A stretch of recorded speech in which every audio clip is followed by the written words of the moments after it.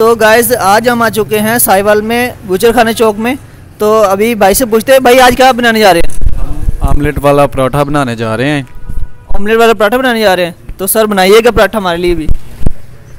तो ये हमारे लिए अंकल ने पेड़ा कर लिया आटे का। ये देखिए गाइस इसको पिला रहे हैं भाई? जी इसकी अभी टिक्की बनेगी। इसकी बनाएँगे पहले टिक्की ये चलेगी इनकी तो इसके बाद ये ये अंडा है। हम इसके अंदर ऐड करते हैं। अंडा ऐड हो गया इसमें। एकदम से फ्रेश अंडा। और इसके बाद ये रेसिपी है इसकी। ये अदरक है। इसके अंदर ऐड हो रहा है। और ये टमाटर है। और ये हरी मिर्च है। और ये प्याज।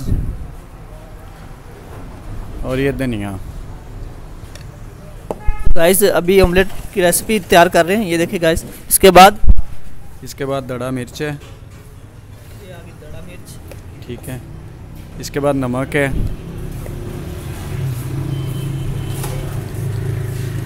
ये देख।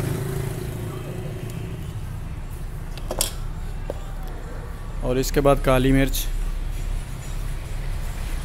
इसके बाद ये आ गई काली मिर्च। तो हमारी रेसिपी रेडी हो चुकी है। ऑमलेट पराठे की। और ये चला गया? सूखा धनिया। ये चला गया सूखा धनिया। तो इसको अब जल्दी से मिक्स कर लेंगे। ऑमलेट की रेसिपी को। ये देखिए गाइस अच्छे से मिक्स करते हैं इसको। ये देखिए गाइस ऑमलेट पराठा यहाँ पे रेडी हो रहा है।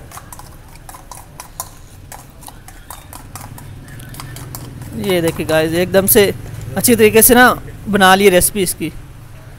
तो ये देखिए, इसके बाद देखते हैं इसका मेकिंग बस ये तवे पे उन्होंने ऑयल भी डाल दिया कि ताकि ये देखिए गाइस अच्छे तरीके से ऊपर डाल दिया, पराठे को एक एक पराठा ऊपर डाल दिया। ये देखिए गाइस एकदम से। अब इसके बाद क्या करना भाई? इसके बाद इसको एक साइड से पकाना है हमने, ठीक है? और फिर वो ऊपर आमलेट डालना है। जी। तो एक साइड से अभी इसको पकाएँगे। ये देखो ऊपर से आ गया ये ऊपर से ऑयल डाल दिया इन्होंने। एकदम से फ्रेश एंड प्योर भाई अपना नेम बता दे। फरियाद अली। फयाज अली? सर कब से शॉप चला रही है वाली? तकरीबन हमें हो गए हैं चार साल हो गए हम चार साल से पराठे लगा रहे हैं भाई। चार साल से पराठे लगा रहे हैं। सर टाइमिंग क्या है अपने शॉप की? तकरीबन सुबह छः बजे से लेके और रात दस बज दस बजे। रात दस बजे? जी। तो ए, इसके ऑमलेट पराठे के अलावा क्या क्या पराठे होते हैं आपके पास? आलू वाला होता है चीनी वाला होता है ठीक है और आमलेट पराठा होता है हमारे पास सुबह नाश्ते में। और शाम टाइम क्या होता है आपके पास? शाम टाइम और बाकी सालन होते हैं दोपहर टाइम आलू अंडा होता है दाल माश होती है दाल चना होता है चिकन कौरमा होता है। चिकन कढ़ाई भी होती है।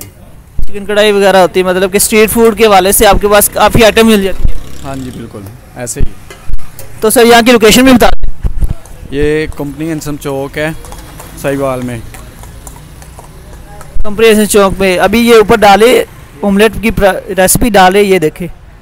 ये चलेगी ऊपर रेसिपी ऑमलेट की।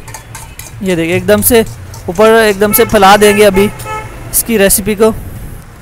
ये देखे गाइस एकदम ऊपर से ना फैला दिया ऑमलेट की रेसिपी ये देखे गाइस ऑमलेट पराठा यहाँ पे रेडी हो रहा है। सर हफ़्ते में आठ शॉप ऊपर रखते हैं या कभी बंद होती है? नहीं नहीं बंद नहीं होती आठ दिन ही खुली रहती है शॉप ट्वेंटी फोर आवर्स यहाँ पे शॉप खुली रहती है यहाँ पे। देखिए हमारा ऑमलेट पराठा रेडी हो रहा है यहाँ पे। एकदम से ऊपर फैला दिया है ऑमलेट वाला पराठा। ये देखिए गाइस एकदम से फ्रेश एंड प्योर सर इसकी प्राइस क्या रहती है? इसकी प्राइस है सत्तर रुपये सेवेंटी रुपीज़ में आपको यहाँ पे ऑमलेट पराठा मिलेगा। अगर आप साइवल विज़िट कर रहे हैं तो ऑमलेट पराठा यहाँ पे आके टेस्ट कर सकते हैं। बहुत ही मज़ेदार होता है। एकदम से फ्रेश बनाते हैं। नेचुरली चीज़ें डालकर। अभी ये हमारा ऑमलेट पराठा रेडी हो रहा है। ये देखिए गाइस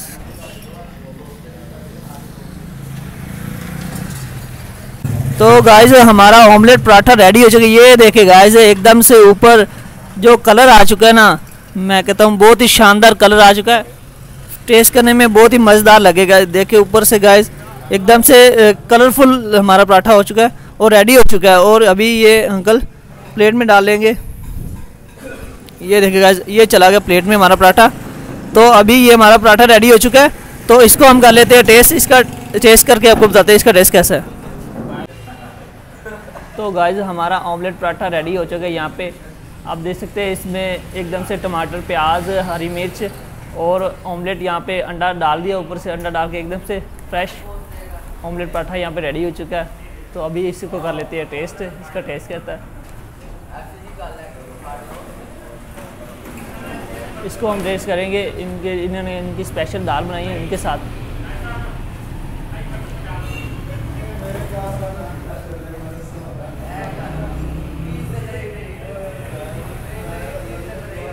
गाइस इनके पराठे का टेस्ट बहुत ही अलग है, एकदम से ऑमलेट ऑमलेट की अलग से टेस्ट आ रहा है और जो इन्होंने वेजिटेबल इस्तेमाल की है, उनका अलग से टेस्ट आ रहा है। मेन के एकदम से अच्छा और मज़ेदार इनका पराठा होता है। तो इसके पराठे के साथ अचार भी उन्होंने दिया है। इसके साथ भी हम टेस्ट करते हैं इनके पराठे को।